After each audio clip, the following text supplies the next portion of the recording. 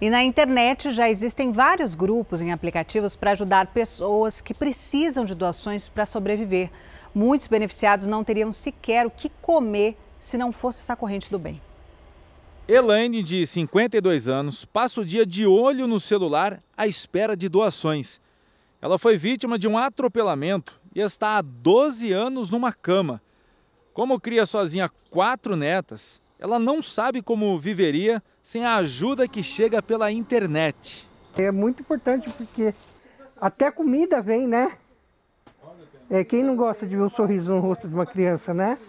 Eu crio quatro netas. Né? Eu não tenho condições de dar presente para quatro netas. A Elaine está cadastrada atualmente em apenas um grupo de doação virtual.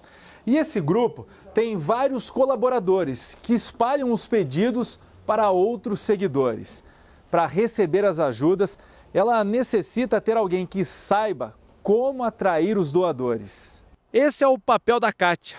Durante a pandemia, ela passou a criar e divulgar grupos de ajuda online e conta com a parceria de 27 colegas. Os pedidos mais comuns são de roupas e alimentos, mas há também vaquinhas virtuais para arrecadar dinheiro, que chega principalmente via Pix.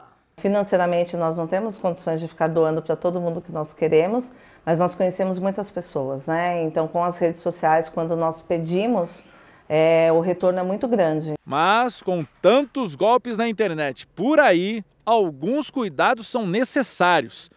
Milene também exerce a caridade e já descobriu alguns pedidos falsos de ajuda virtual.